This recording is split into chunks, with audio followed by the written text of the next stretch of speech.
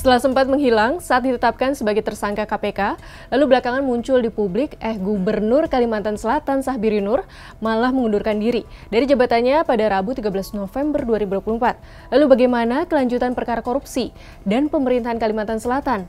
Ada manuver politik apa di baliknya? Sehari sebelum pengunduran diri, yaitu pada Selasa, Pengadilan Negeri Jakarta Selatan mengabulkan gugatan pra-peradilan Sahbirin, sehingga penetapan tersangka oleh KPK dibatalkan. Keesokan harinya, Rabu, Paman Birin pamit di depan jajarannya. Mulai hari ini, tadi saya sudah tanda tangani dan sudah dibawa pengacara kita ke Jakarta, saya mohon pamit mengundurkan diri sisa-sisa jabatan gubernur 2024 ini.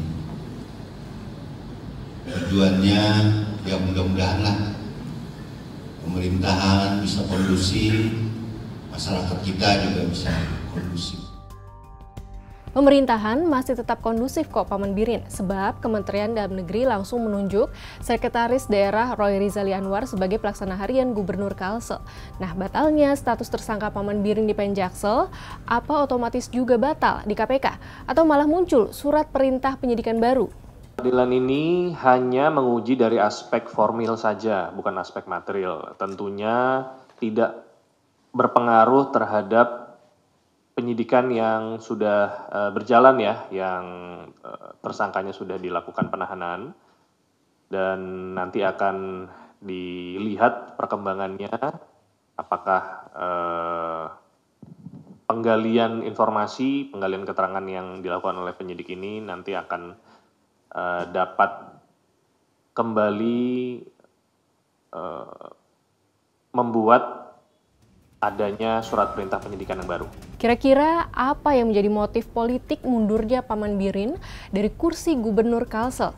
Normalnya kan saat status tersangka yang dibatalkan harusnya nggak mundur dong, tetap menjabat dan bekerja sebagai gubernur. Jangan-jangan ada manuver politik di baliknya. Peneliti senior Center for Information and Development Studies Institute MS Sidik mengatakan, di tengah sorotan media dan tekanan publik pengunduran diri Paman Birin tampaknya merupakan manuver politik terukur untuk mempertahankan citra pribadinya serta melindungi pemerintahan yang telah ia pimpin selama dua periode. Dengan memilih mundur, Paman Birin seolah ingin menunjukkan bahwa ia peduli terhadap integritas dan transparansi dalam pemerintahannya.